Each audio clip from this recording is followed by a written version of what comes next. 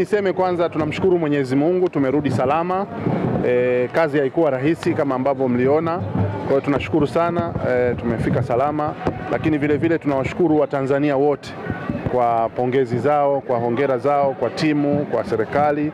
Tunamshukuru sana Mheshimiwa Rais kwa sapoti kubwa ambayo ameonyesha kupitia timu hii, kupitia wizara yetu. Tumekuwa na TFF bega kwa bega katika hatua za kambi, katika hatua za safari kwa muda wote tangu safari hii ya AFCON ilianza mpaka, mpaka sasa tumefika hapa, tumefuzu.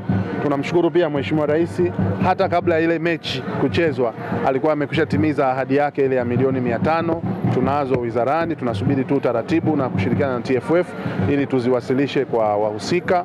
Lakini vile vile tuseme tu jambo jingine kubwa ni kwamba eh, kwa safari hii, kwa kazi nzuri ambayo imekwisha fanyika, tunavyoenda mbele sasa jicho la serikali na ufadhili wa serikali na uangalizi wa serikali kwa timu hii e, chini ya uongozi wa Mheshimiwa Rais Dr. Samia Suluhu Hassan na viongozi aliowateua katika wizara, Mheshimiwa Damas Ndumbaro, Mheshimiwa uh, Waziri wa Utamaduni, Sanaa na Michezo, Mheshimiwa Hamisi Mwinjuma, naibu waziri, pamoja na wenzetu wote ndani ya wizara na Baraza la Michezo.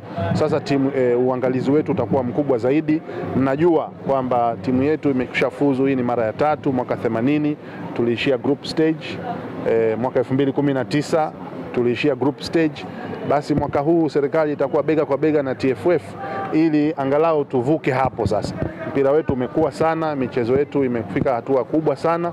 Kwa hiyo tutajitahidi sasa angalau tuone kwa yale ambayo kocha amekuwa anayahitaji, e, TFF wanahitaji kile ambacho kinawezekana kule Ivory Coast ili tuende vizuri, lakini pia tutaandaa utaratibu mzuri kwa kushirikiana na wenzetu wa TFF ili Watanzania wengi waweze kwenda katika ushiriki huo. Mimi nilikuwepo mwaka 2019 kule Cairo, tulikuwa na Watanzania wengi walijitokeza, lakini sasa safari hii tuende na wengi zaidi, na tuna timu nzuri bora kuliko eh, huko nyuma.